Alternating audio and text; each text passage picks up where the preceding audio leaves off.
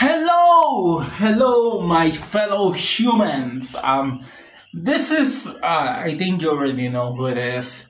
Uh, Reinaldo the Cringe Master. My apologies if there is any annoying, and I do mean really, really annoying background noise.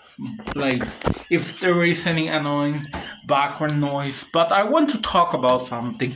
I want to talk about a company from my childhood that I believe in the recent times are not doing very good choices or are not going they're not doing a good job anymore. They're mid, they say. They don't invoke creativity and fun anymore. Like before, like you know, Warner Brothers. Warner Brothers. Hanna Barbera, Cartoon Network. The leader not the lead, the person in charge in the moment is not doing a good job. I feel like not doing a good job. So I want to talk about something. I want to be in charge of the company. I want to be the leader of Warner Brothers. I want to be the C C C A CEO. They say I want to be in charge. I want because I believe I can do good job. Like I I I want to be the CEO of Warner Brothers. You know the the leader, they say, the one that makes choices of the company, because I believe that the the new leader, Steve Affleck, whatever his name is, in doing a trashy job. He's a he's basically they're disrespecting the history, in my opinion, the company. And I want to be in charge. I want to be the person in charge and, and control of that company. But sadly, I don't have power. I don't have the control to do that.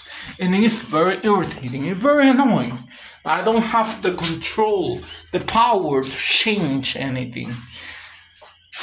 Like I want the power to make that company be in the top and be good.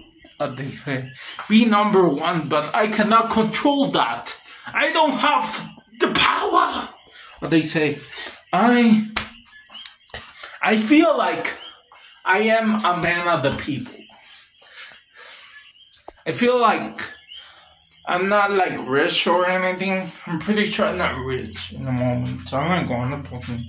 I'm like kinda poor. I'm more like middle class, very close to being poor. So yeah, I don't really have control. I hate not having control. Like I believe in freedom of speech. I do believe in freedom of saying the words but I also believe, but I also want to be somewhat, be somebody important. And I want to, and I want to be the leader of Warner Brothers Animation.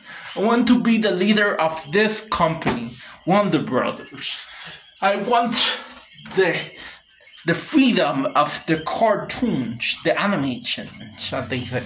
I want to be in charge because I believe I have a top number one strategy to gain a lot of money to the company. Like if I was in charge, I have I think I have a very good strategy. And one of the strategies are not canceling not canceling movies when they're basically finished production. Like when a movie is finished in production, release it. Don't cancel it.